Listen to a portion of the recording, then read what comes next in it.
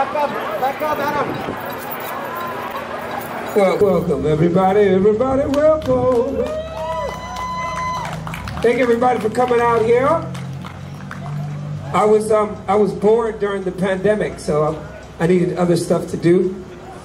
And um, besides starting a label, is like using my parking lot. I used to come out here and look at it every dance and think, what, what can I do with this parking lot? Well, I decided to invite all of you here, a space for you vendors, artists, and all the wannabes. I love you all.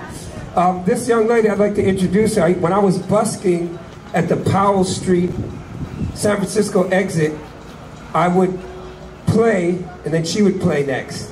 And then I'd, she'd take a break, then I'd go on. So this was six years ago, when nobody knew my name. Some of you still don't.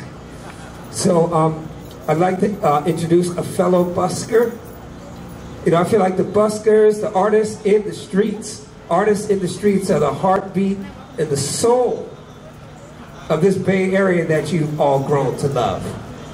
Um, so Melody Yan is going to play the 500-year-old Chinese zither. One of my fellow buskers, glad to reunite with her. Please give her a warm Bay Area round of applause. Everybody grab something to eat. Eat, meet, and greet. Make a new friend. Don't make enemies. I love most of you.